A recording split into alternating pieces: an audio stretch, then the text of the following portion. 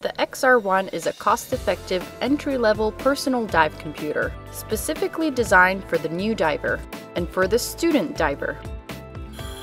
The XR1's simple but efficient design makes it easy to monitor the progress of your dive. Just make sure that all indicators are in the green. The XR1 is available in multiple configurations.